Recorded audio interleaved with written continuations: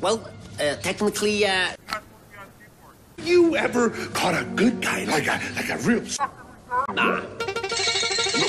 Have you ever tried a disguise? Nah, nah. All right, I can see that I will have to teach you how to be.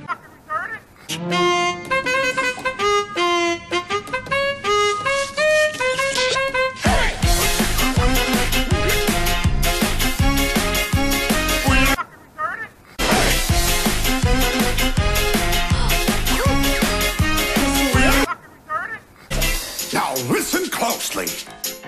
Here's a little lesson in trickery. This is going down in history. If you wanna be, you have to. Just follow my moves and sneak around.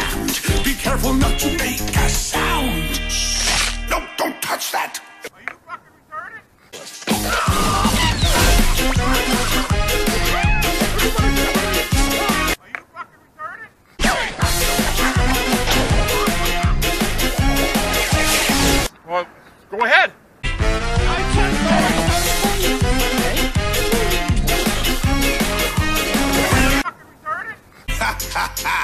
now look at this that I just found.